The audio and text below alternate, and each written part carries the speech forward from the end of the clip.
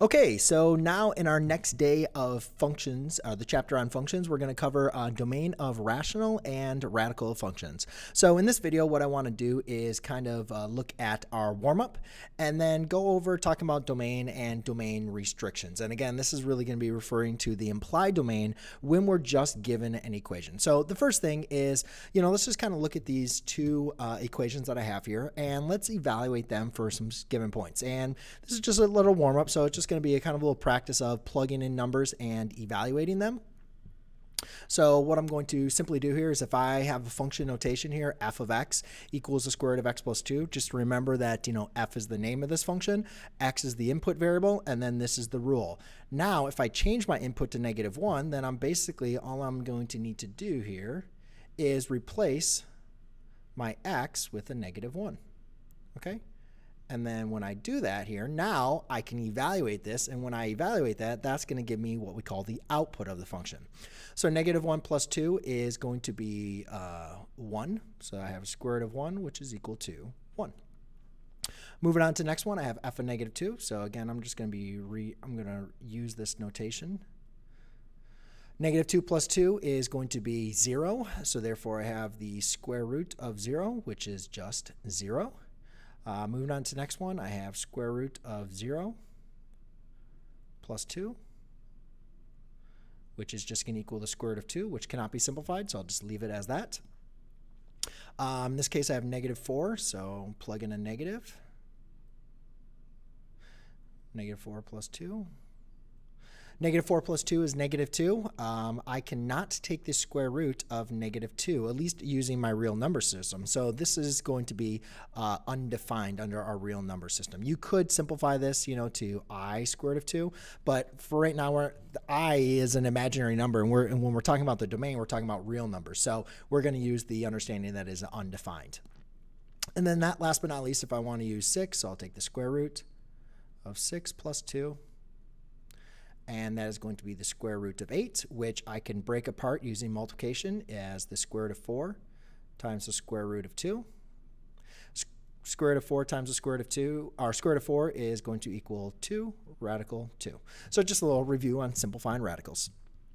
All right, let's move on to the next one. Here I have a rational function. The name of the function is changed to g. Input and rule is a little bit different. So again, if I want to evaluate uh, for f oops, I messed those all up those are all supposed to be g's.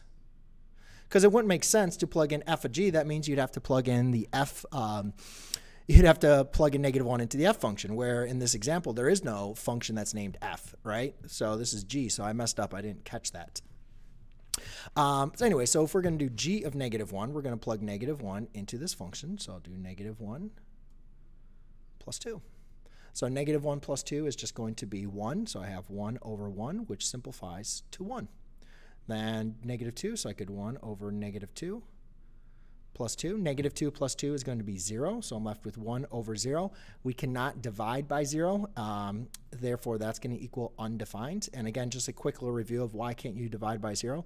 Well, let's just say 1 over 0 is going to equal some number x. Well, remember the division property states that any division problem can be rewritten as a product.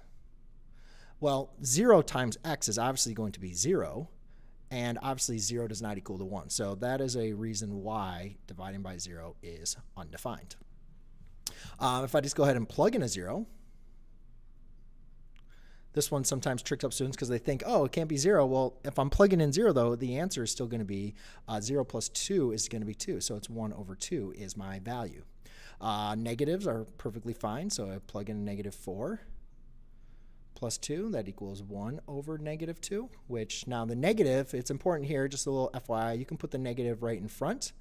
Or, I mean, even if you wanted to put in the numerator, that's fine. Like, these are all equivalent to each other. Usually we just stick with the middle one.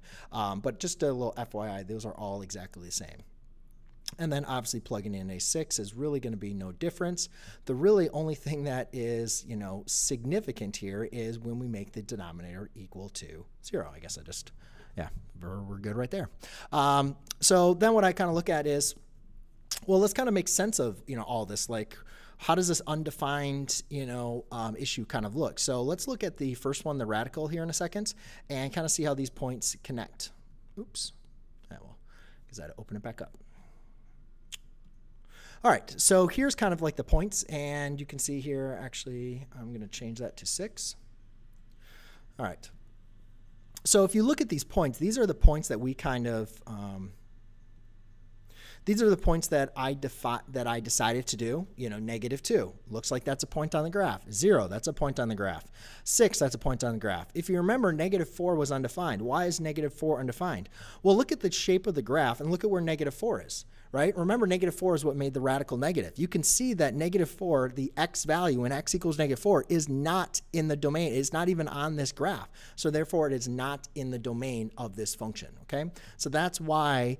Um, that's why, you know, when we were going to look, if I was just going to say the domain of this function, I'd say from negative 2 to infinity. So negative 4 is not included. That's why it made the function undefined. Let's go and take a look at the other one. All right, and if you remember our one value here that made it undefined was going to be um, the one that was negative 2. And you can see this graph is nice and continuous, except for it has this break at negative 2. And negative 2 is the only value that when I, did, when I inserted in negative 2, it made the denominator 0. All the other values, oops, plug those in. All the other values are good. Negative 4 is a point. 0 is a point. 6 was a point. Um, all the other points are perfectly fine. Negative four or six, yeah, two. The only one that we had an issue with was negative two.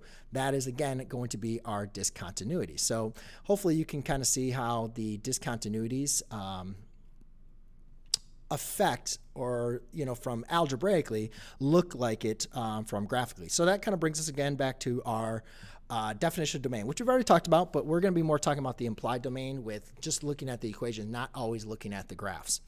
So the domain of the function obviously is just a set of all x values um, that are, it's really not just the set of all x values or the set of all input values or independent values, but it's really the set of all x values that are defined for the function. Meaning, if we are looking for the function, you know, when we first looked at functions, a lot of times it was easier just to list what is in the function. Like, you know, if you have a set of points, just list all the x values. It's fairly basic, right? But when we're dealing with a like continuous function here, um, let's go back to that graph real quick. If we're looking at a continuous function, it doesn't matter, like this one, the it's true for all x values. Like as I keep on zooming out, every single x value or real number here is covered in the domain. Like this continues to infinity and negative infinity. So the only thing that's important is where it's undefined. And the function is undefined at x equals negative 2. So x equals negative 2 is the only number that is not defined in the function. So when we're writing the domain, sometimes it's easier just to say or to kind of work backwards and look like what's not in the domain. In the same example here, when we look at this graph, it's only defined for values that are greater than negative 2. We don't even need to represent anything that's less than negative 2. So that's going to, understanding that kind of helps us when we're trying to write the domain of a function and not necessarily looking at the graph. So to finish this up, let's just kind of look at some of the restrictions of the domain that we're going to kind of come across. Obviously, you cannot divide by zero. So we want to find values that make the denominator equal to zero. And basically what we're going to do is when you have an equation, you're going to set that equation equal to zero and solve. Solve for the value, typically x, that makes the equation true. And that is the value that is not in the, not in the domain or not the function is not defined for those values because those, that value or values makes the denominator equal to zero. The next restriction is you cannot take the even root of a negative number. Um, so as we mentioned, we looked at that. When we looked at negative 4, it was not on the graph, right? It's undefined. So it doesn't need necessarily be a negative number. It's just any number that when we insert that number, plug it in, just like we did in our warm-up. Anytime we plug in that number and it makes the radical, or what we call the radicand, the, the expression or the term under the radical symbol, uh, when that makes that number negative, those values are not in the domain. So what we're going to do is we're going to set, um, set our radicand greater than equal to zero, meaning that everything under the radical symbol, the radicand, needs to be positive because when it's negative, it's undefined.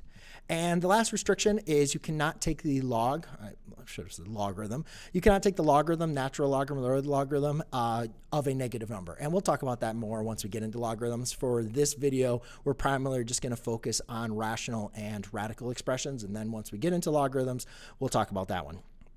So on the last one, I just kind of focus in on, you know, what again we do for radicals. We set the inequality um, greater than or equal to zero.